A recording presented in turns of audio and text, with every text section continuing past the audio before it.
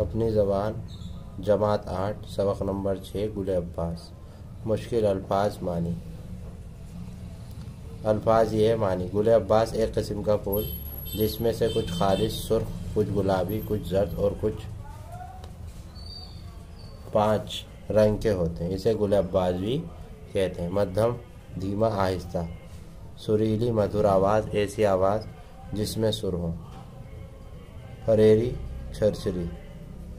हरा गल्ला हरा गल्ला हरी कोपल रोशनी रोशी रो, रोशे रोशे रोशी की जमा क्यारियों के दरमियान का रास्ता पगडंडी।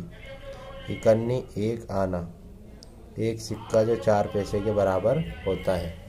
अब सबक का खुलासा देख। सबक का खुलासा ये है कि गुल अब्बास का पहला घर एक छोटा सा काला कॉलेज था। उसकी दीवारें बहुत सख्त थी और वो मौसम के असरात से उसे बचाती।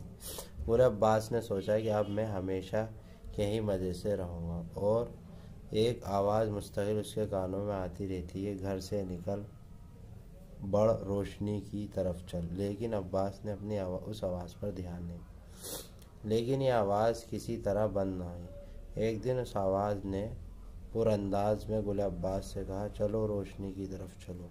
तो गुल अब्बास से रहा न गया, वो अल्लाह का नाम लिया। जो ज़ोर लगाया तो दीवार टूट गई और गुल अब्बास हरा गल्ला बनकर बाहर निकल आया। अपनी जड़ों को मज़बूत किया और उनकी खोल कर उसकी खूबसूरत दुनिया को देखा। कुछ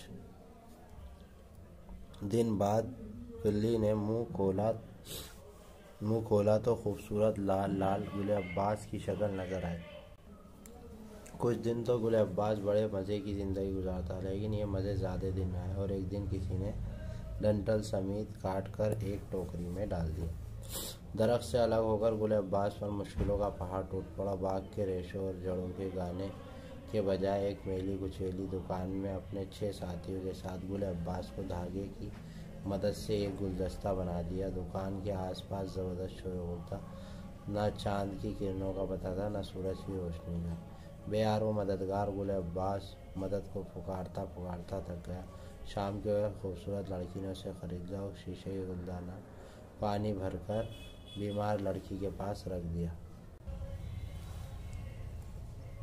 बीमार लड़की जो अपनी बीमारी की वजह से मायूस थी, उसे और रो धो रही थी, उसकी आँखें गुल अब्बास और उसके साथियों पर पड़ी तो वो खुशी से तालियाँ बजाने लगी। उस बच्ची ने बहुत प्यार से गुल अब्बास को चूमा और अपने गालों से लगाया। तब गुल अब्बास की समझ में आया कि इस दुनिया में उसके आने का मकसद यही था कि एक बीमार और एक दुखियारी बच्ची को थोड़ी देर की खुशी हमसे मिल जाए।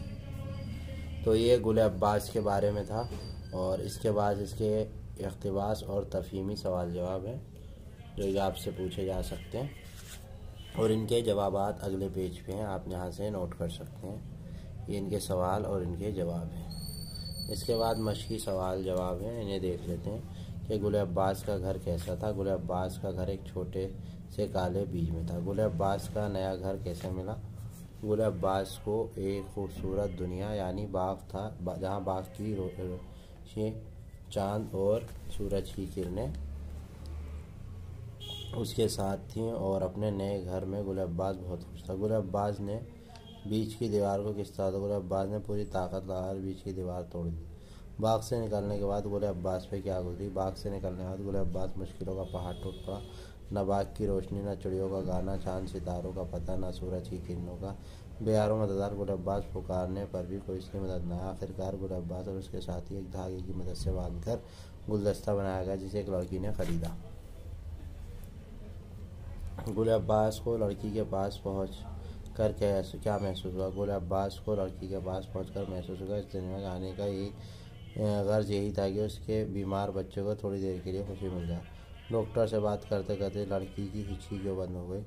दुखियारी बच्ची मायूस होकर डॉक्टर से पूछती है, क्या वो अच्छी नहीं होगी? क्या कभी बाग में खेलने नहीं जाएगी? क्या वे कभी फिर न चल सकी? इसी मायूसी के आलम में रोती रही और इसकी हिचकी बंद गई बीमार लड़की खुश होने की वजह क्या थी? गुल अब्बास का मिल जाना बीमार लड़की खुश होने की वजह। गुल अब्बास के साथ बीमार बच्ची ने क्या सुना बीमार बच्ची ने गुल अब्बास के अपने हाथों में लेकर चूमा और इतनी खुश हुई कि उसके गालों में गुल अब्बास की सुर्खी झलक आई। उम्मीद है कि आपको ये वीडियो पसंद आई होगी और इसके बाद इसके खाली जगह भी हैं। खाली जगह वो सही लफ्ज़ से भरो। तो खाली जगह यहाँ पे ऑलरेडी भर के दिखा दी हैं। आप यहाँ से अब ये है जुमलों को तरतीब में लगाओ यहाँ ऑलरेडी जुमले तरतीब से लगे हुए हैं तो आप यहाँ से देख सकते हैं। ठीक है जी, यहाँ पे भी है। और इसके बाद है, सही जुमलों के सामने सही और गलत के सामने गलत, यानी काटी का निशान। तो सही के सामने सही और गलत के सामने गलत का निशान लगा हुआ है। देख सकते हैं। अमली काम है गुल अब्बास की कहानी अपने का खुलासा अपने लफ्ज़ में लिखिए। जैसे जैसे आपने सुनी है वैसे वैसे लिख दें। और नहीं लिख सकते तो आप जो है यहाँ से मदद ले सकते हैं। ठीक है?